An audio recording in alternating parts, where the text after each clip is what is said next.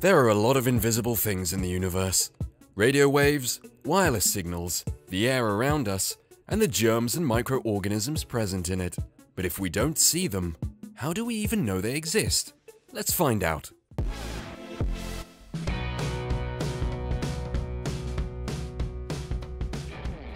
The invention of the microscope is one of the most crucial in recent history, and it has changed our lives.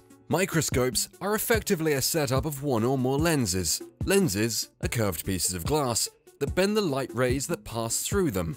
Yes, light doesn't always travel in a straight line. They can be bent, deviated, and played with. A regular convex lens focuses light from an object at a point on the other side of the lens, called the focal point, and at a distance called the focal distance. Now, when we view this object from a point beyond the focal distance, the image of the object is magnified and inverted.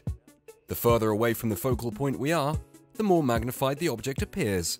If we can control the distances between the object, using a simple microscope, one can magnify tiny objects up to 10 times its size. But that's not where the fun is.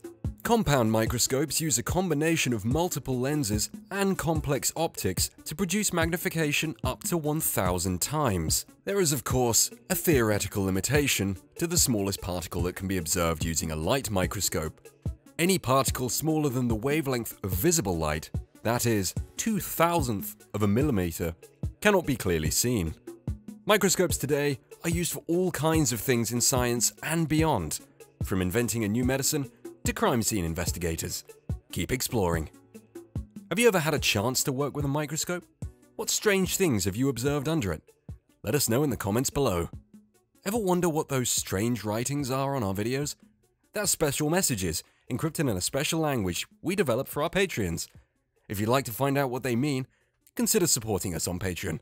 And that way, you can see what our animators are hiding, and also help them get better equipment to make better videos.